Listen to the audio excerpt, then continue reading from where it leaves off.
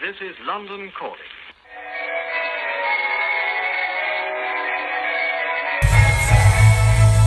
Oh, the hospital's just texted me. He's just having a nightmare. Afternoon all, back in town today. It is absolutely heaving. It's lunchtime and I'm on the way to meet a friend that I've never actually met before.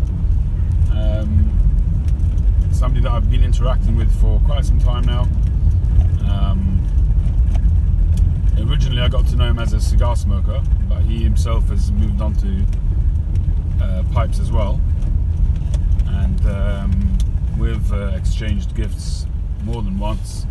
Lovely fellow, and I'm really excited to meet him. Um, we've tried to meet a few times before, it hasn't worked out, but today is the day. So we're going to meet outside uh, JJ Fox's. We're going to uh, possibly pop into a pub over the road um, where they've got an outside area, and we shall share a pipe. So for now, just taking a little drive, as we do.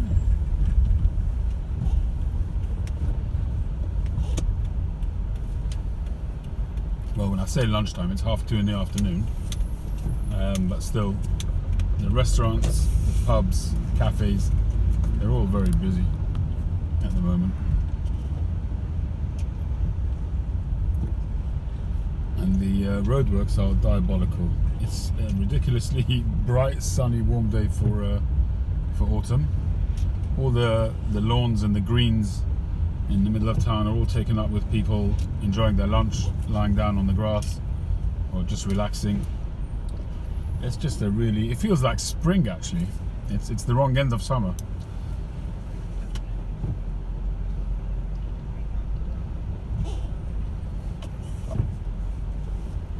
Been through this arch a few times. I'm not sure if it's of any significance uh, other than just joining these two buildings.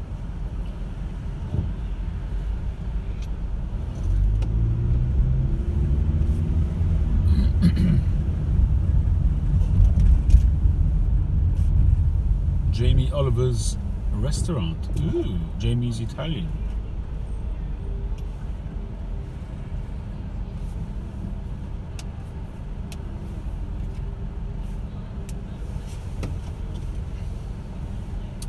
It's such a different world in town. It, it's it's just uh, it's a world on its own. And it's a place really only to come to if you've got the money for it. So I just come for a pipe. I uh, I enjoy watching it and looking at it, but it's not my bracket, not by a long chalk.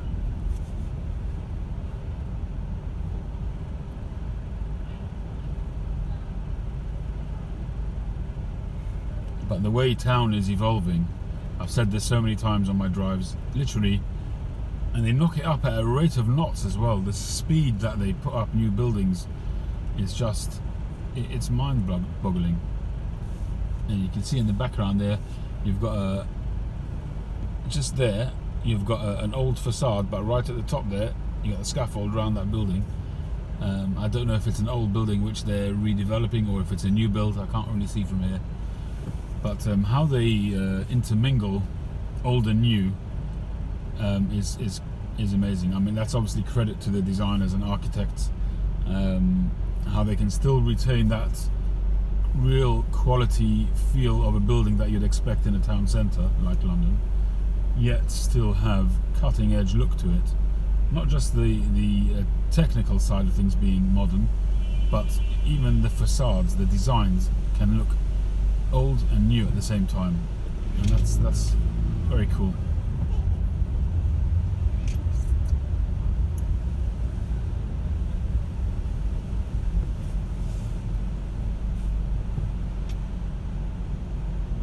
And we're coming into Shaftesbury Avenue, which is uh, theatre land, really.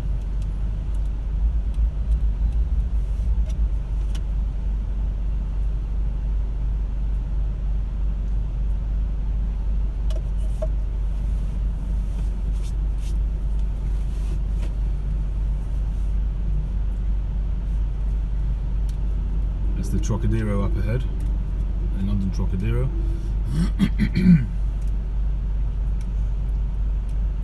One thing I miss on, on an iPhone is the ability to pause um, and then resume your recording, which the Samsungs do have, um, which I think is a very cool feature, which I don't understand why Apple have not incorporated that into the iPhone. It's such a hassle when you're doing a video to have to keep on editing videos because you've got several clips to put together. Whereas if you could pause and resume, you could no editing needed unless you wanted to do you know have some production value. But if you're just uploading a video without any uh, post-production to have a pause and resume would be awesome. I just I wish they would do that.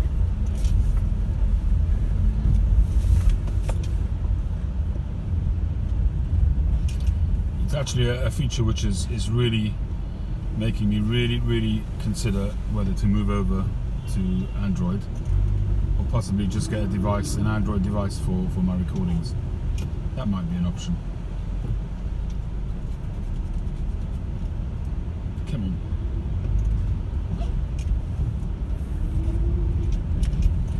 Driving into Haymarket, which will bring us into Pall Mall, and Pall Mall runs up behind St James's.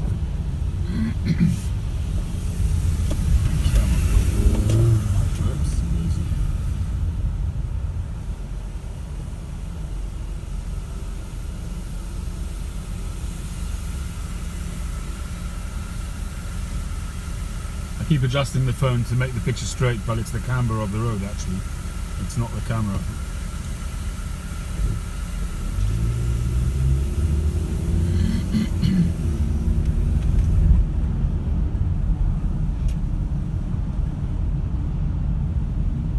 so we're about to turn into Pall Mall at the bottom. And I think if I'm not mistaken, the end of Pall Mall we, told, we turn right into uh, St James's.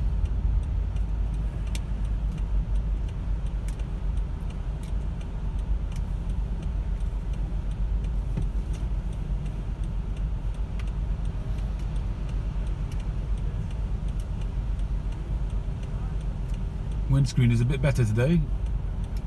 Had a bit of a clean up this morning. Filled up my uh, water reservoir. Feeling a little bit more human now that I can see through my windscreen. Just saw a, a video by um, Beans of Virginia Woods. He doesn't like it. He never liked it. I've got to find a way to relieve him of some of his tins. I'll have to get in touch with him. He seems to have quite a stock in his cellar. Um, so maybe I'll do a little bit of a trade a buy if he's into it, if he's up for it. Indicated that he was.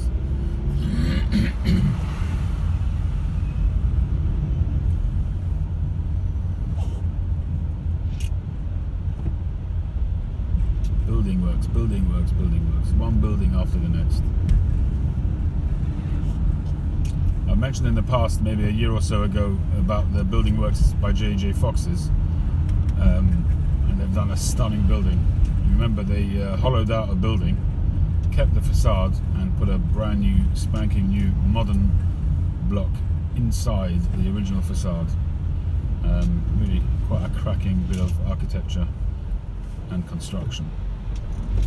Anywho, I'm going to find somewhere to park and I will catch you soon possibly. I don't know if my friend is going to be happy with uh, being on the camera. Maybe I will, maybe I won't.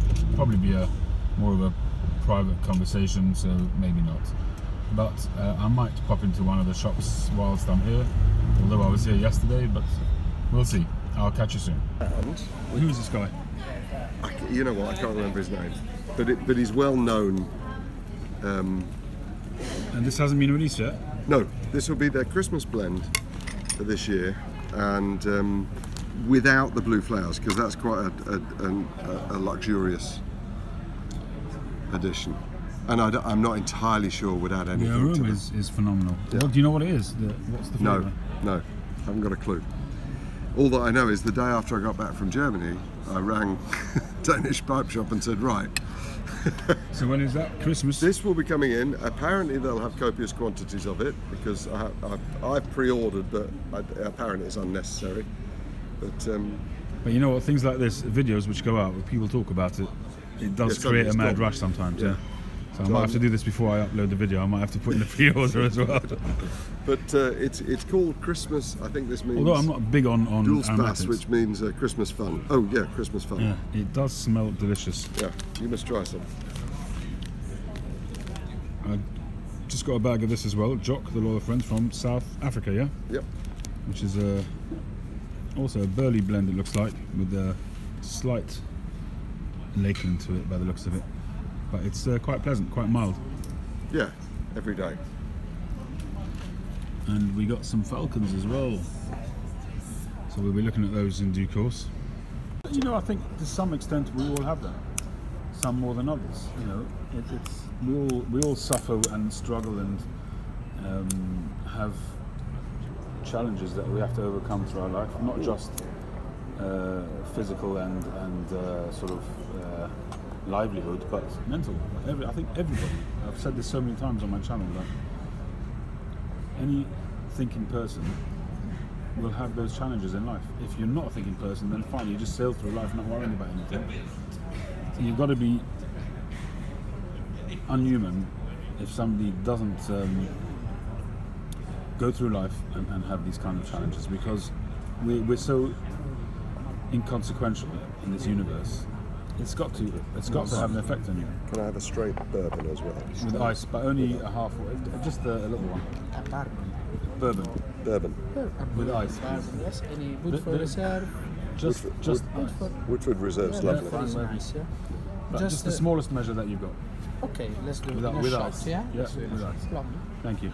We're a very successful partnership, but what he did, from what I can work out, is just let her go. Knew that she was going to come to the UK, and he decided to take the longboat to Argentina and let her go. She was always apparently, for, for the rest of her existence, incredibly grateful, always to him. him for letting her go. Yeah. A lovely For love a story. gentleman. Yeah, exactly. True love. Yeah. He loved her more than himself. Absolutely. And, and surely, if, if there was any lesson to be learned with regard to faith and looking upstairs to he who cares, then that must have taken an enormous amount of courage and conviction in his faith to, to do that.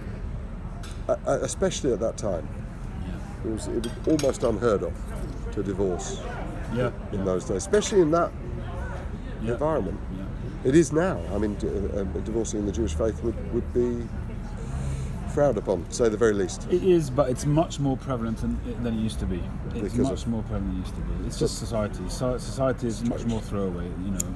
And whereas, I mean, I know when I grew up, uh, when I was a kid, um, up into my teens, if a divorce happened in the Jewish Orthodox community, it made the news. You know, everybody was talking about it because it was so rare.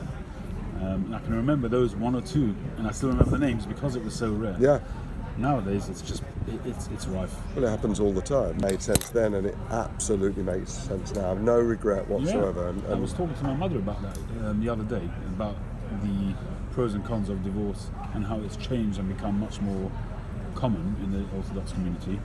Um, and we kind of came to the conclusion that it's a double-edged sword. On the one hand, uh, 30, 40 years ago, people just stuck with it because they stuck with it, and they had a terrible existence. yeah, remained unhappy for. and they remained unhappy all their lives. Um, whereas um, nowadays it's gone to some extent over the other way, where it's just kids are not prepared to, to stick at it and Yes, try and make it almost disposable. Yeah. So whereas some percentage of the 30, 40 year old uh, ago relationships turned and became loving after a time because they worked at it, Hmm. some had a miserable life. So it's kind of nowadays when it's throwaway. Uh, it's, to some extent, it's better that they find somebody else that they do get on with. On the other hand, perhaps they could have made it work if they stuck at it. So- well, Justin's just popped out for a second, smoking the uh, Chacom. I'm smoking some of this uh, stuff which he brought along. He got this at uh, InterTabac, and this is a sample of the uh, uh, Christmas fun which will be released this year. Um, and it's really look, he says it won't have this blue, these blue little flowers in there, but it really makes it look so luxurious. It gives it a really nice look. And it tastes very, very nice. I'm not big into aromatics, but it's a very, very nice, good quality aromatic. I'm Not sure what the flavours are. Seem to, uh, it feels like there's a bit of apple in there, but I'm not sure. Um, but it's very nice, very, very enjoyable. It's not too heavy, and um, I might well uh, order some of that when it comes out. Catch you soon. Just thought I'd show you the little. This is uh, down an alleyway through that archway there, opposite JJ Fox's, and it comes out into this uh, little pub here.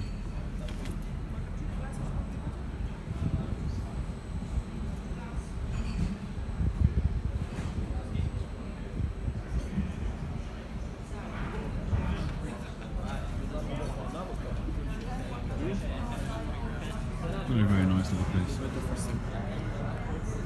So you and I will remember when we were kids, when we got a cold or a cough or a sore throat or anything else, that, that, that little white packet yeah.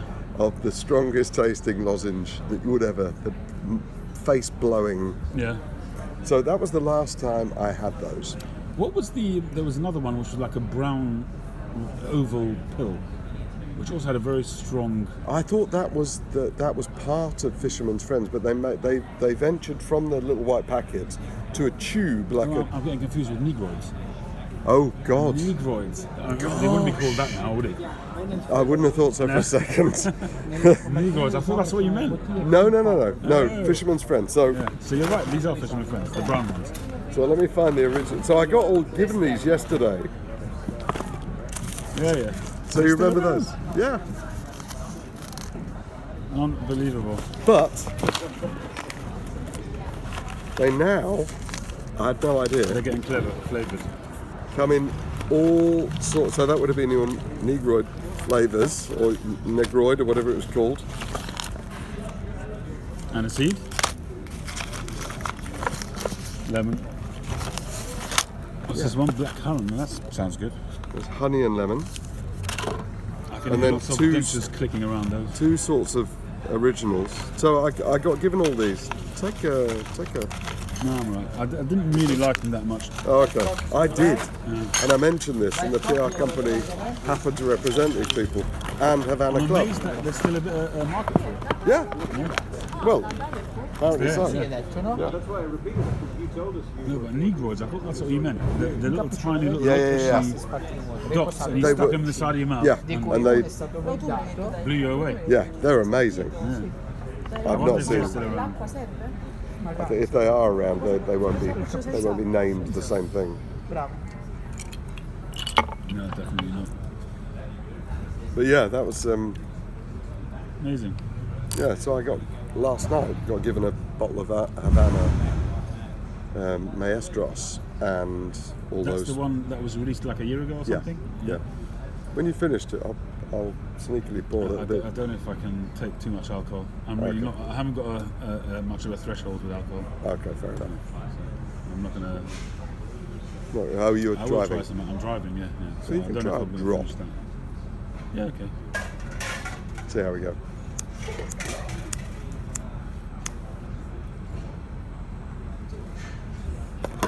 I'll be honest.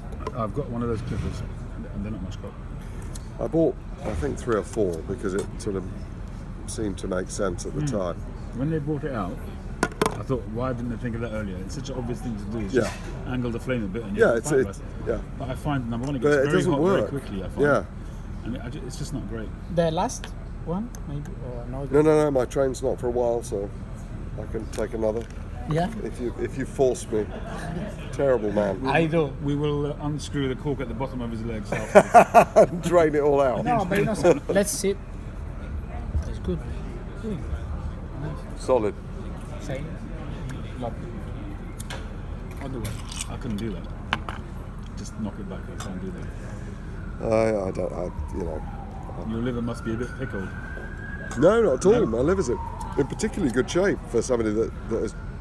Abused it. Well, we're born with seventy percent more liver than we actually need. And it's an amazing organ anyway because it reproduces itself. Exactly. So, if there were to be a thing to challenge in the body, That would be the one. yeah, I believe so.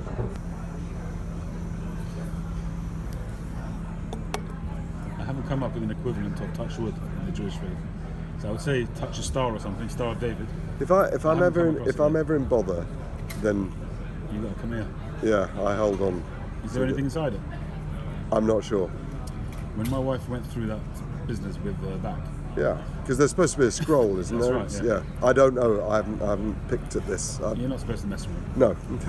So when my wife had her operations, so I went to, the, I don't know if you've heard of him, Rabbi. Heard of him?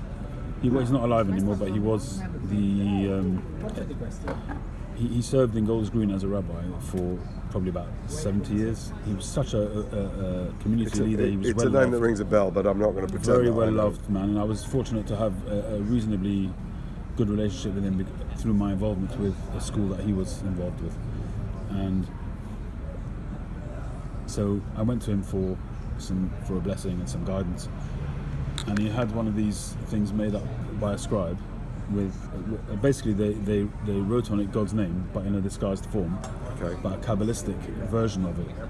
Um, although I think you're not supposed to kind of hold on to them, and you're kind of supposed to, you're supposed to put them away with, you know, other.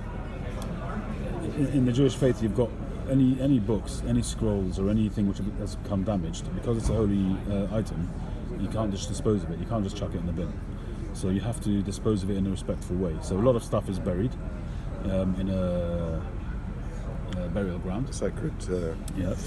Um, so they'll have a special grave in a burial ground, especially for those for items. For those items. Yeah. Okay. So, um, so you're supposed to do that kind of thing with it, but I've kind of grown attached to it. Uh, I've never used it, never put it on since. She wore it during the operations and during the whole process, and you know, you believe that that kind of thing helps, you know. Um, but that's uh, it was interesting they should say that. But I, I, I have never taken this off. So I, I, at an airport, it doesn't matter where I am, whatever I'm doing, How did you come by it? My it? wife bought it for me. Oh, Israel. Uh, I don't know actually where she got it from. Right. I know she went to some effort to get it. That's nice. That in itself has meaning as well. you know. Absolutely, absolutely. No, it's, it's a lovely thing, and I. So if I if I'm ever feeling uh, anxious or I've seen something that's upset me, then I tend to, yeah, I tend to sort of pull it off my neck and hold it in my hand, and It's therapeutic. no, yeah, it's just, yeah, so It's like worry beads. yeah, exactly, exactly. So yeah, my weekend in Euro Disney meant that I was clinging onto that bloody thing for dear life for the for the vast majority of, of the time. Yeah. No, it is a funny old thing how we how we evolve and how we, we look for answers and Yeah. I, I Get well, I went to a funeral on Friday, and uh, it was a friend of mine's wife, very good friend of mine's wife, and those moments sort of do make you wonder what plan there is, because how is that right? You know, there there are there are nobody deserves death or suffering.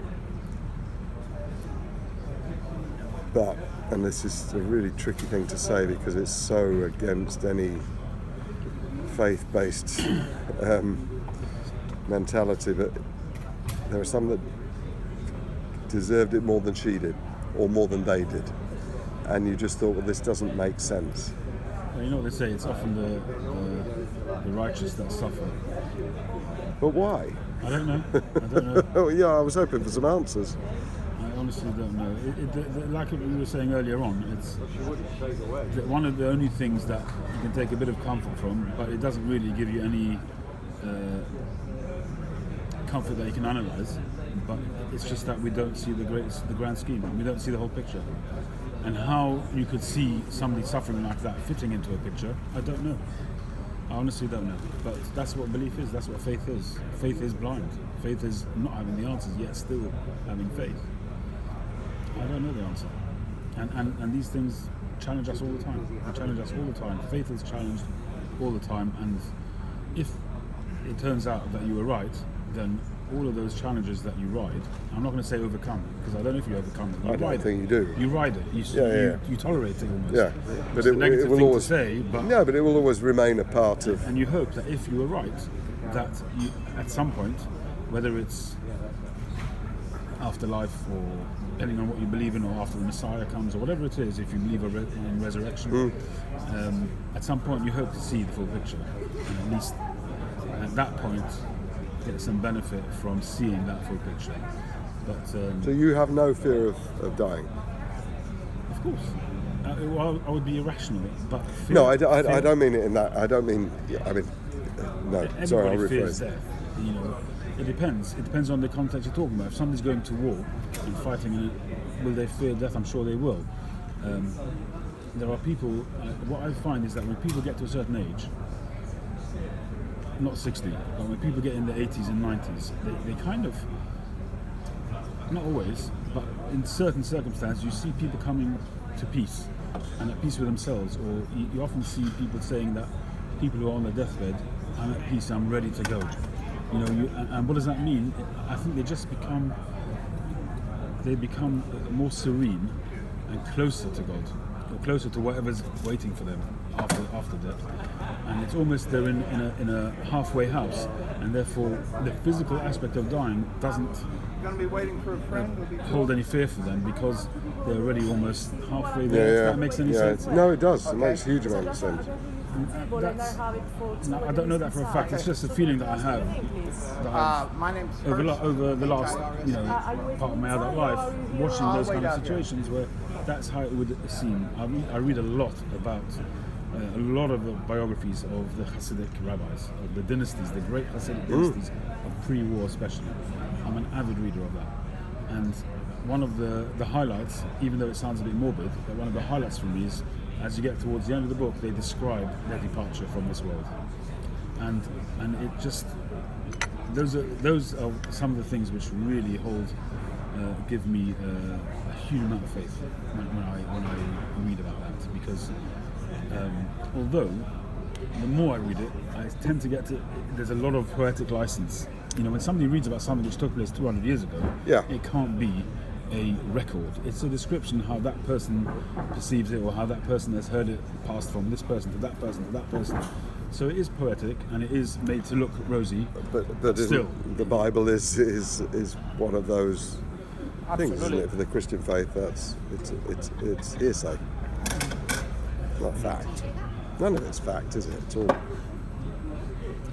Well, it depends what you call fact. If it depends what your belief structure is. My belief structure is is that it's it was uh, written by Moses, handed down by God. So I can't prove it, but you know. But in your mind, it's is. it's fact. the there are I can't necessarily think of any right now, but I've gone through times in life where you just see the poetic justice, or if you like, or call it karma if you like. I don't know what you want to call it. Yeah, karma's a But- but karma's a where- where- modern way of Yeah, of saying that, but things. where you see how, and again, I don't want to come across evangelical about the Jewish faith, and, and possibly you'll see the same mirrored in other faiths, but, but I'm not familiar with that. So I can only talk about Jewish faith, but sometimes you'll just see certain situations which um, have been almost foretold. So if you, in certain parts of the Talmud, you'll see certain logics which if you I don't know if you've ever looked at the Talmud at all. The Talmud is, is, is a collection of um, uh, discourses, if you like, of super high rabbis, if you like, going back a couple of thousand years, and every aspect of um, life is discussed. So the Bible is dissected, literally letter by letter, and what you can derive from each of those inferences, and you know th- uh, that you can take from every word of the Bible. So when you're talking about keeping Sabbath, for instance, um, I'll give you one example: a light switch. Yeah. Um, I don't use uh, a light switch on the Sabbath. We use electricity because if it's switched on before, it stays on Yeah. uh, or you use a time switch, that kind of thing. Now, there was no electricity 2,000 years ago, so the, the modern Jews would say, or the liberal Jews would say, that wasn't accounted for in the Bible. I can use it on Sabbath, it's not an issue for me. And I can understand the argument. Um, but the rabbis, through the generations, use inferences and comparisons and uh, lots of different arguments in order to decide and prescribe how you lead your life in all aspects of your life. So the light switch, coming back to the light switch, What um, what do you think that would be the problem with the light switch? If you had to guess, what would you think would be the problem with the light switch? Well, from a faith-based point of view. From from the Jewish religion, things that you know. I don't know how much you know about the religion. What you can Well, uh, no. I understand that that uh, that. Uh, I I would say that the closest you'd probably get to is perhaps fire. yeah. Yeah, energy. Yeah. So you're not allowed to start a fire on the Yeah. Sabbath. So if, if, So you, if you switch a light, switch, you're you are energy, creating, an energy. energy, especially if it's a light bulb. Thank you very much. especially if it's a light bulb uh, with a tungsten element, which is a fire, essentially, a modern version of it, but certainly that. But that's not all it is. For most people, the reason why we don't put on a light on the Sabbath is because it's considered a product of building. You're not allowed to build on the Sabbath. You're not allowed to put one brick on top of another Oh, on the Sabbath.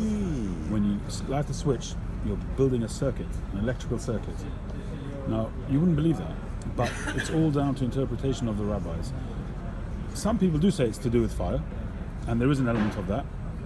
But for the I think for the most part, most people agree that it's to do with building a circuit, which seems completely foreign when it's light switch. That's not building, but Well, well, it is. that's how. in a- and, and, a- and it's it's it's very very prescriptive, but it's all down to interpretation and uh, and your level of faith in that uh, interpretation. So the Talmud. Well, the point I was coming to is that the the legal, um, the whole legal structure in the world. You go back and and read the Talmud, it's all there. Oh no, It's yeah, no, there. that I understand. Everything, you know, the, Yeah. the really intricate legal arguments when it comes to capital punishment or capital crimes, blue, blue collar uh, and white collar crime, crimes, it's all in there. Every single thing, and the vast majority of legal precedents, you will find um, similar um, uh, examples in the Talmud. And, and I'm sure other religions have similar situations, but in the Well, Talmud, sure. I don't know. But in the Talmud, you will find it all in in the arguments which are so intricate.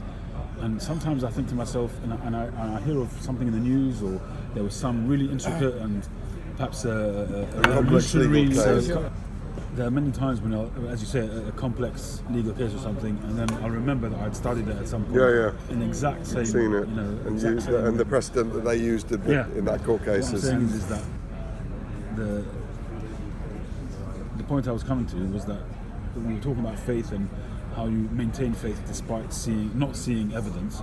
But it's these kind of things which, when you run your whole life through as a, a religious person, you experience those kind of things. All of these things chip away at your disbelief, if you like, and help to give you belief. So when you see something 2,000 years ago has a legal structure and it makes sense today, it tells you that that has Yeah, yeah, some some validity. it's got some legs. It's got legs, Yeah. and therefore, if that had legs 2,000 years ago, 2,000 years ago is much closer to creation than we are now. Of course. And the, the, the legacy going through from the Talmud, then going through the forefathers, Egypt, all that kind of stuff is not so distant anymore. No. And although it might sound like a fable when the Jews went out of Egypt and split the sea and all that kind of thing, but if that same Talmud can have such complex but logical arguments, also No. talks about splitting of the sea, Yeah, yeah. they weren't mad people. No. So that kind of helps. It Wow. helps. It helps in your day-to-day belief. It helps in your faith because it gives you cre- it gives it credence to some extent.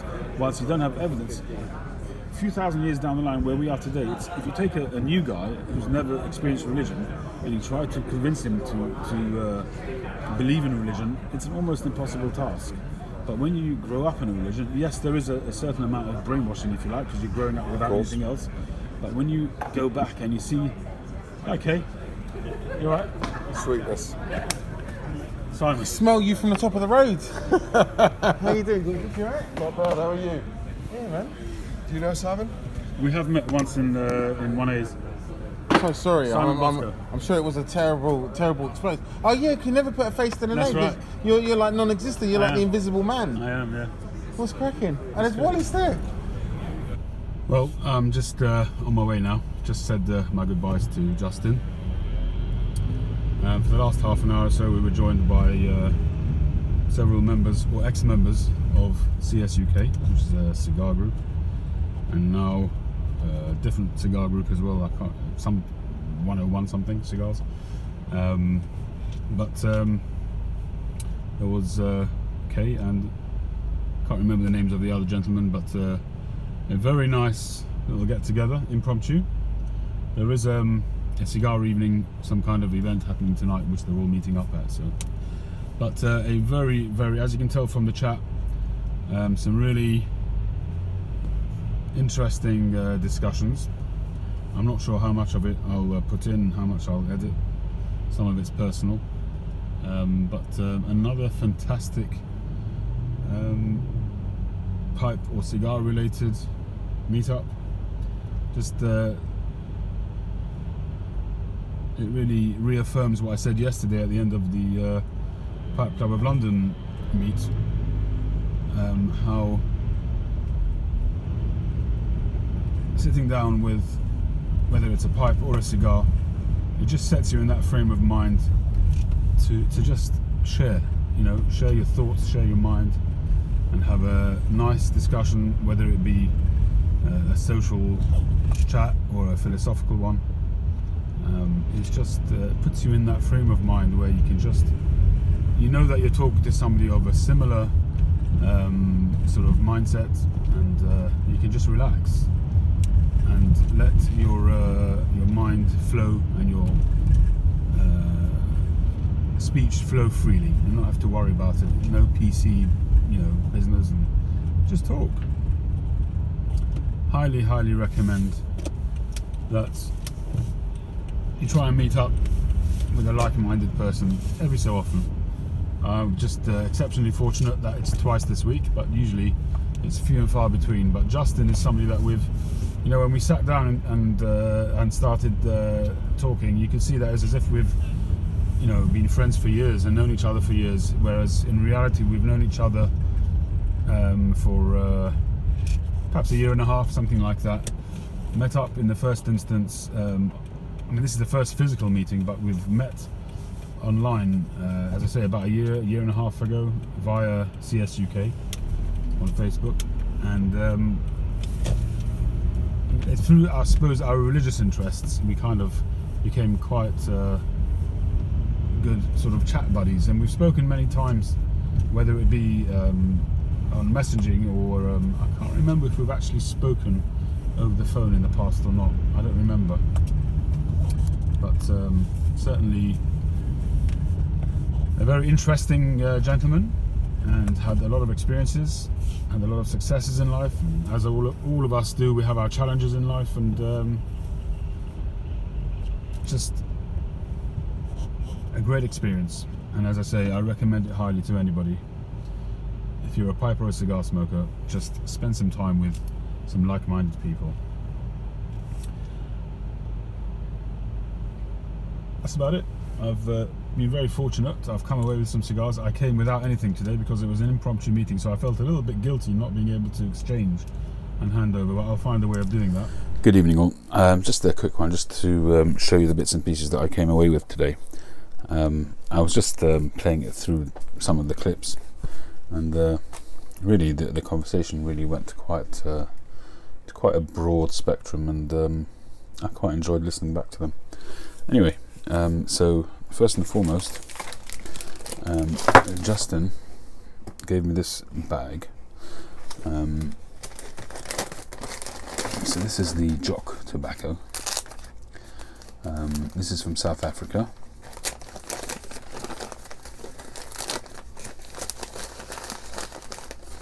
It's a quite a quite a dry tobacco,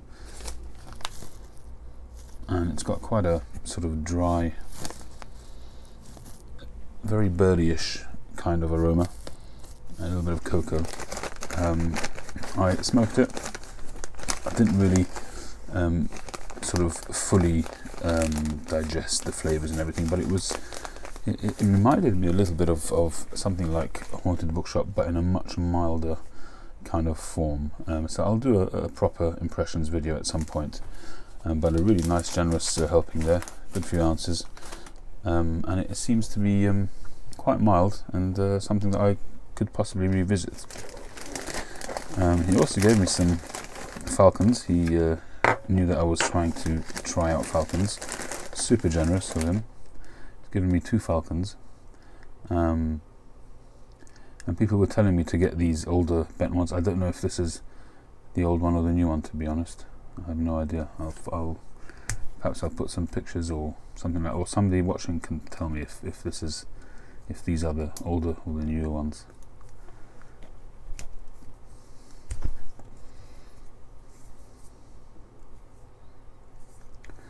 Um,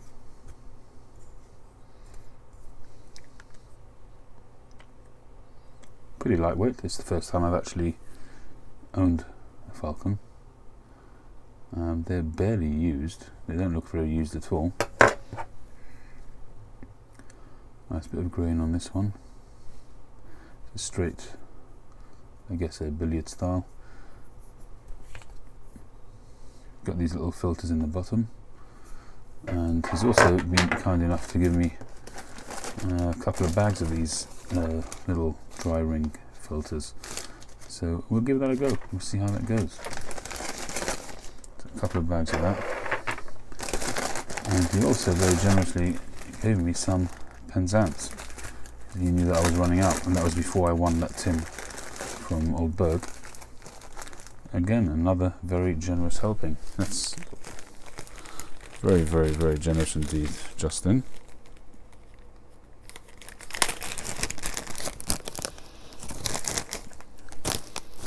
Very nice. So it boosts my Penzance stock nicely. Now to the cigars. Um, right at the end of the video, um, we uh, met up with Kay, as I mentioned earlier, um, and a couple of his mates. Um, and he gave me this uh, cigar, which is very nice, really unexpected. This is a Hamlet 2050 by Rocky Patel. It's supposed to be a good cigar, mild. Um, so we'll do an impressions of that one at some point. Okay, if you do watch this, thank you very much. And then we have, I've already put these in plastic containers to keep them protected. Um, this is a Por Larranaga from 1997.